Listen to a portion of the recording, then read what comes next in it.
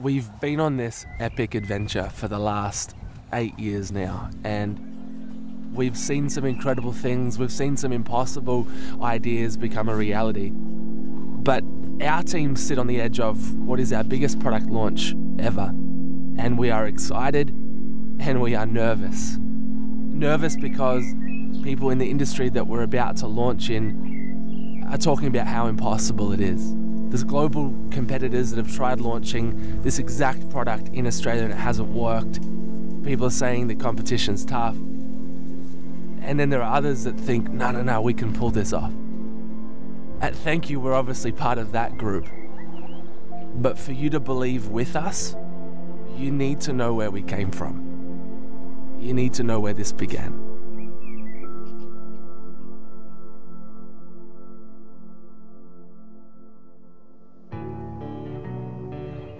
Deep down, I reckon every person wants to make a difference. Maybe we'd all like to change something, but how do we do it? How do we tap into the little part of everyone that wants to change the world and, and do it in a way that's really simple, that we can all be part of this? Yeah, I remember this moment where I was sitting at my computer and I'm watching stories of kids who are spending, uh, you know, half a day walking to collect water for their family reading stats like, you know, four and a half thousand kids dying every day from waterborne disease or hundreds of millions of people without water. And I'm having this moment where I'm realizing I'm watching other kids' stories and imagine if that was my story. Yeah, my sisters Jess and Mel, they're twins, they're younger, and I thought, imagine like collecting water for them every day as like a, as the brother in the family. Imagine finding out they died one day from waterborne disease. I felt so helpless sitting at my computer.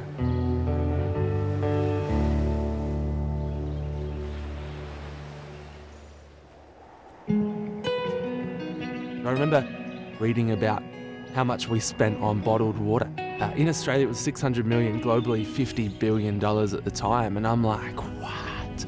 That's crazy. Bottled water is such a dumb product.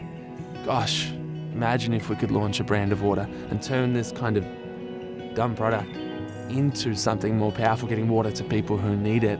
This thought that maybe together we could do something remarkable.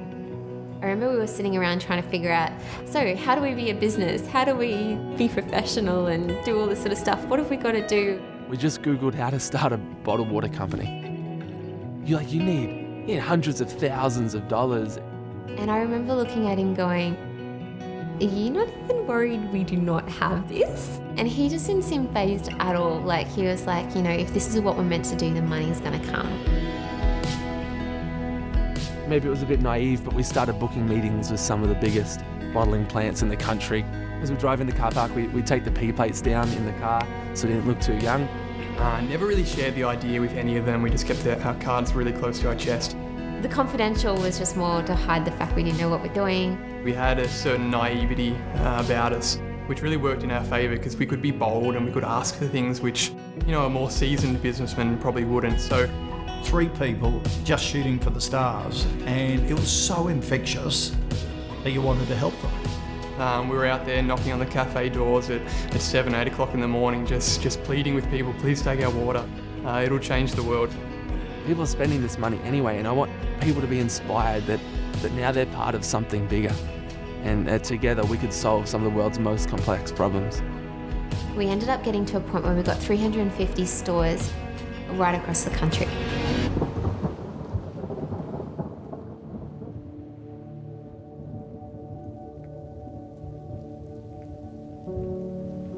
You know, the launch ended up being a product recall.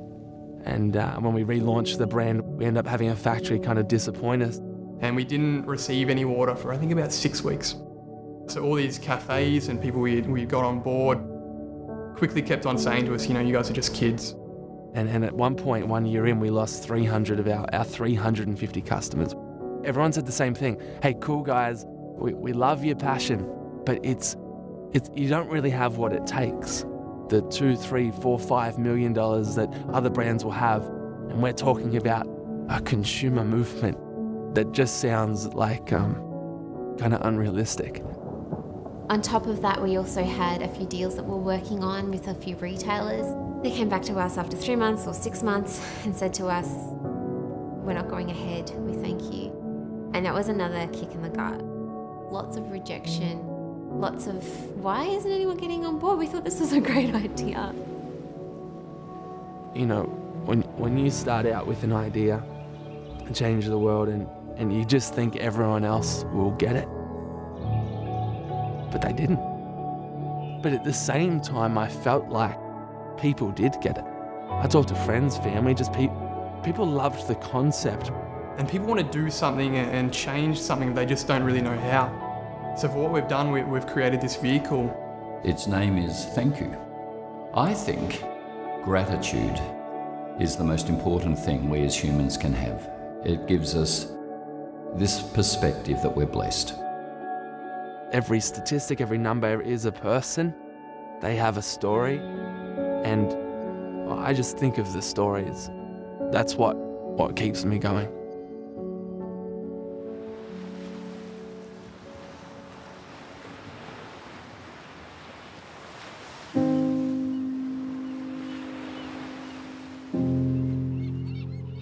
We never had enough money to justify going and seeing our projects ourselves. So I think we were about three years in by this point. We had the opportunity to go and see them for the first time, and I just did not really fully comprehend the impact that it was making across the board.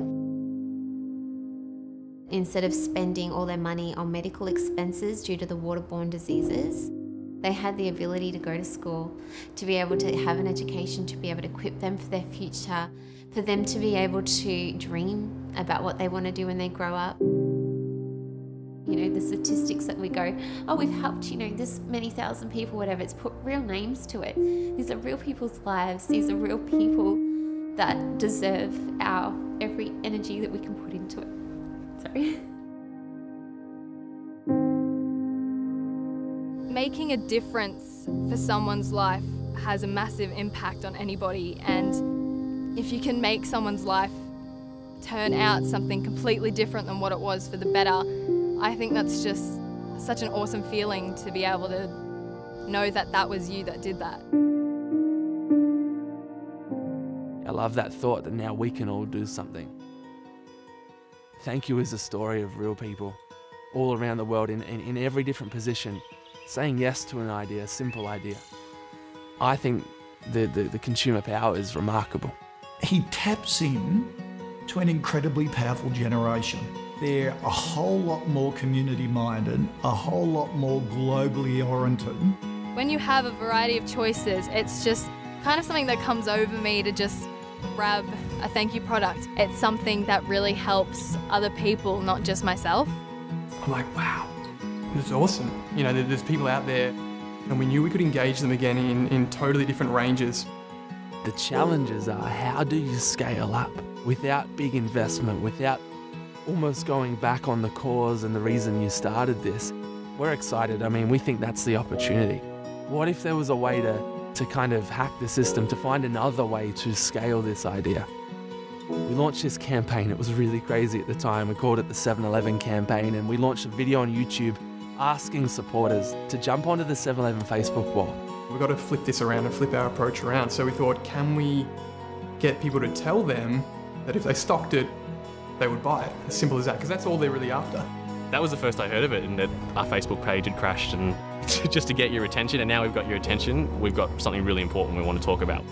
It wasn't just a usual presentation. There was no data, there was no research. It's quite refreshing as in that position where you kind of get the same people coming in doing the same thing all the time and getting three really young people just coming in giving it their all. I remember going back home that night and said, I, I want to work for a company like that someday.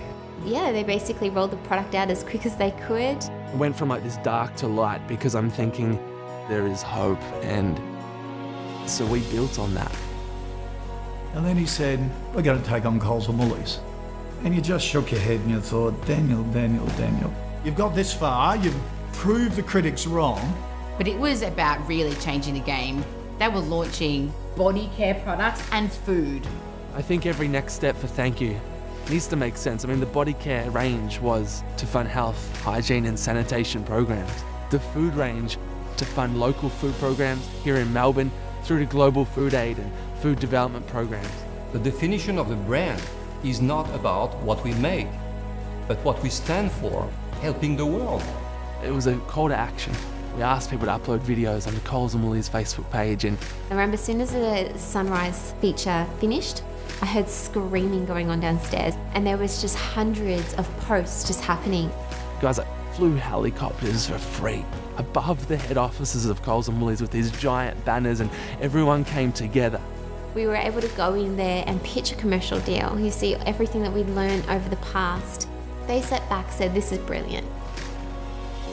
They took on an industry where it was so saturated and they wanted to do good, and they have the most phenomenal story. They've stood the test of time, they've broken through the barriers, and they're just as enthusiastic as ever. This idea sometimes seems so complex, but it's actually so simple. It, it literally just needs people to say yes. It's awesome to see how it's become a part of people's everyday lives. That they still have the opportunity to be able to save someone's life. That shift of power, Thankyou, have imagined, moved into the space, really occupied that space to transform lives. What we've been able to do and the results that we've been able to achieve have left industry experts speechless. We go from helping the 56,000 people who got access to safe water to now hundreds of thousands of people getting access to water, food, health, sanitation, over $3.3 million raised because people said yes. We know that every time we can exponentially grow, Thankyou, the impact exponentially grows. And because of that reason, because we exist 100% for impact, we will put everything on the line. We will step out.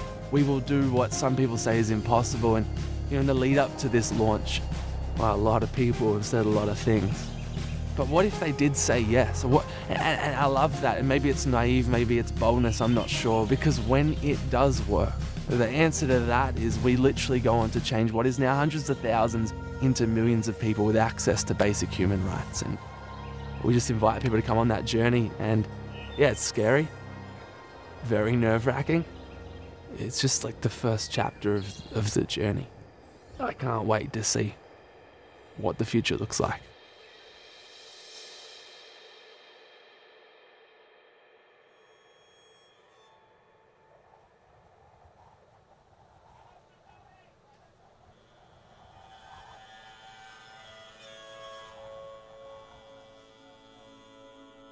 We knew from traveling in developing countries that maternal and infant health uh, is so crucial.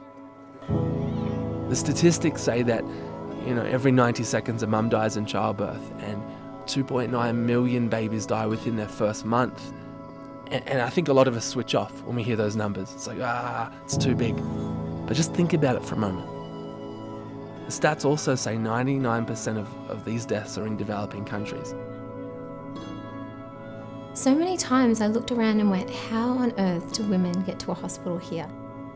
They were carried by stretcher to be able to get to a hospital. And so you could see how it would be so easy for women to give birth on the side of the road and not make it in time. And no wonder mums die, no wonder kids die. They're giving birth in their home, they've got no one around them, they've got no skilled birth attendant, they've got no technical support. And when I say they delivered at home, it's not like some cozy bed in a corner with loving, caring people around them. It's often on a dirt floor, and if they're lucky enough to have a piece of plastic.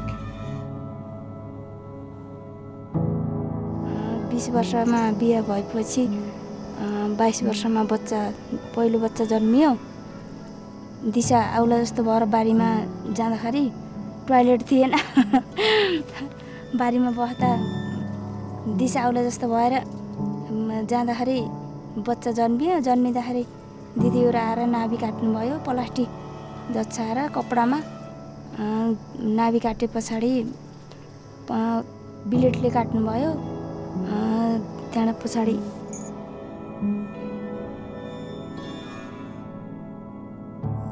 It must be so terrifying. And I have the deepest respect for every single woman that chooses to get pregnant because actually they risk dying to give birth. And we don't think about that very often, and it's true.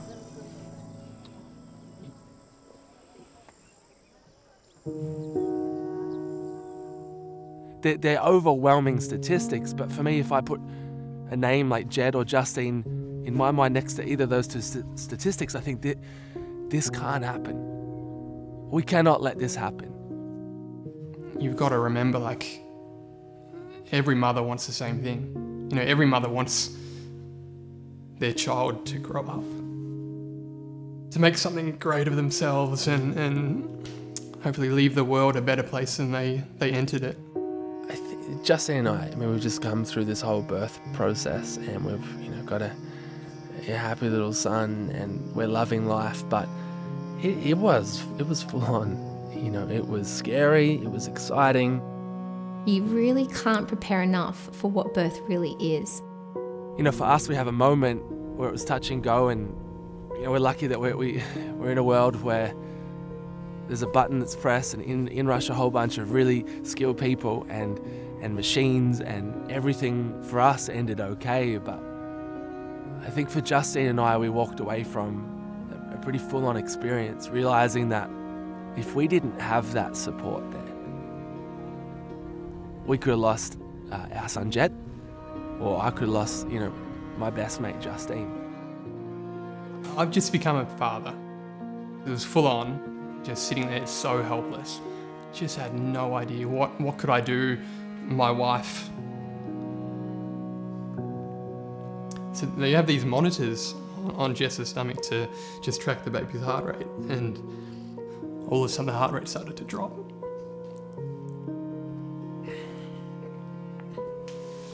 All of a sudden these alarms start going off, and we're like, what the heck is going on? And it, it turned out to be quite a simple fix. All they had to do was, you know, pump some more fluid into Jess, and um, a really easy fix when you have the technology available and the, the skilled attendants there. It all worked out perfectly well. We got a very healthy young girl, a very cheeky young girl. And we're so lucky we get to experience that joy because so many people miss out. The technology that we have these days, even the real basic stuff, there should be no reason why this is happening.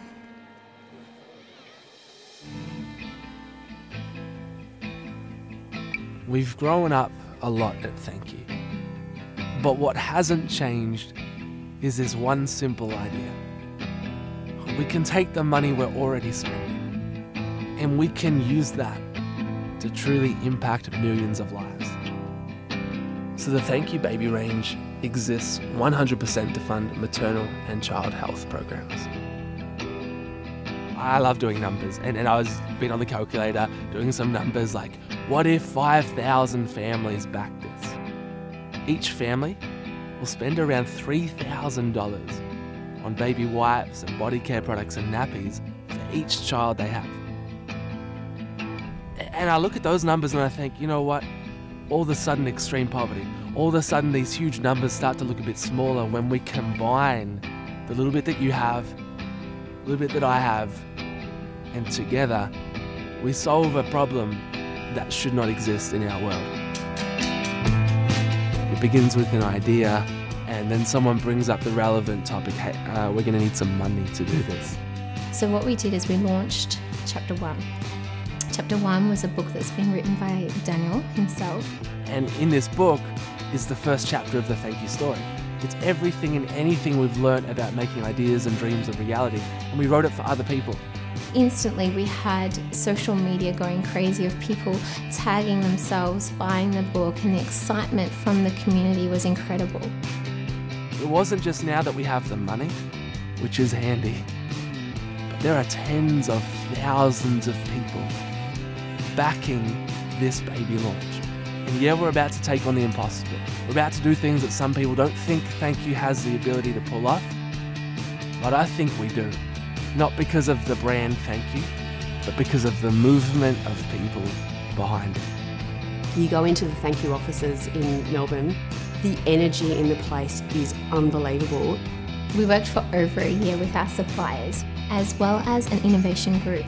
They were taking home samples and saying whether they worked or didn't work for them. We actually had to look externally, right around the world for great innovation, with some products coming from New York through to great ethically sourced product from China. Making sure that these products are uh, ethically sourced is super important to us. We've loaded the nappies with uh, vitamin E and aloe vera. The mothers are really happy. They work, they absorb, they contain, they look cool. The baby body care range, the washes and shampoos and lotions, they're free of chemicals and nasties. It's good for the baby. In fact, I was sitting in this one meeting as we're presenting the range, and this slide came up that compared the Thankyou products with what else was on the market. I sat in that room seeing all the ticks on the Thankyou products going, I am so proud to put that on, on my son.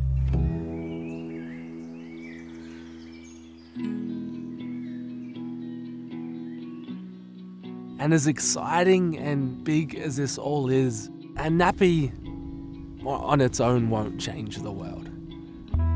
A baby bath wash won't change the world, but a community of like minded mums and dads will. In my day to day life with little kids, I wish I could do more, but at least I can know I'm buying products that are creating a better outcome for other people. Thankyou's actually allowing us to know what the inequities are, but they're providing a bridge for us to be able to help. I mean, who wouldn't want to do that? Who would not want to be a part of something so big? One of the things I loved seeing about the first programs that we're funding is just the overall holistic approach that's been taken. One Heart, who are one of our first partners in maternal and child health, have an incredible model.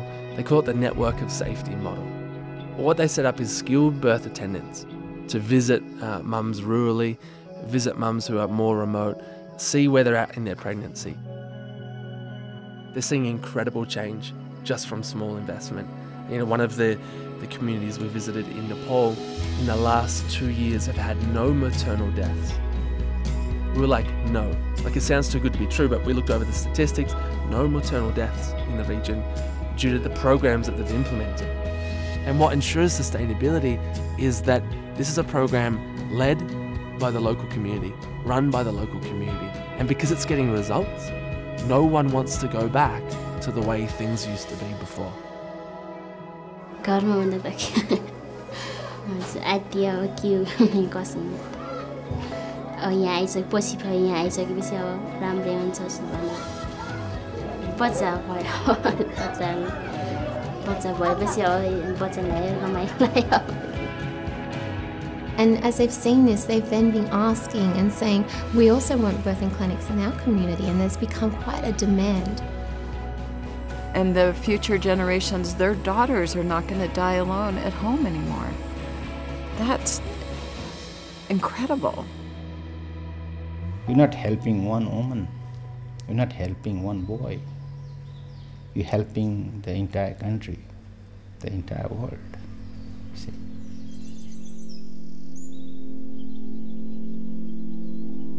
One moment on this particular mountain, we, we meet a lady giving birth. Her baby's head was stuck in the birth canal, and then uh, there was a cord around the neck of the baby. The cord which carries the blood supply to the baby, you know.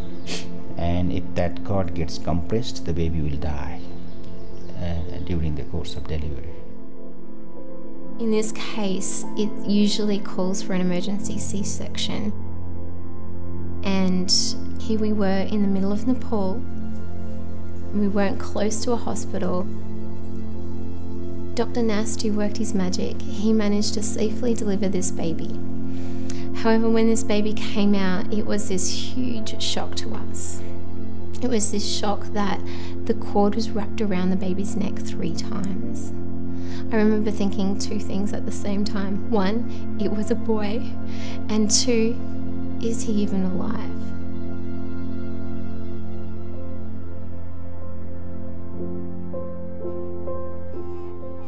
He then started to cry, and it was these faint little cute cries, and we knew this was it. We made it through, and it was one of the most precious moments. And to see the joy, her auntie or a relative was with her, and when she got the baby in her arms, she was crying, and she was so happy that there was another son in the family. The doctor who was there literally said that without the support of the people in that room, that mum and that bub wouldn't have made it. And as I reflect on that moment, I'm thinking it doesn't matter if you are born on the side of a mountain in Nepal or if you're born in a hospital in, in Melbourne, Australia. Because every child, every mum deserves that same chance at life. Education is vital and clean water is vital and sanitation and food, it's all vital, but everything starts in pregnancy. And if you look at fetal maternal health and how the health of a woman in pregnancy not only impacts on her child, but her children's children, how an entire community's health can be driven by getting health right during pregnancy, it's definitely the obvious place to put all of your energy. They say it takes a village to raise a child, and I believe that this new baby range of Thankyou is creating a global village. You know, everyone's saying don't go in, there's huge competitors and they, they, they've got the billion dollar companies. We're like, but that's why Thankyou needs to be there. So, what we need is mums and dads of Australia to get behind this range because we need to make as much impact as we can. Changing another nappy or having another bath time. But when we combine these seemingly insignificant moments, they equal something remarkable. Because if we can get in, we think this product range, backed by, by just all of us, everyday mums and dads, will literally change the world.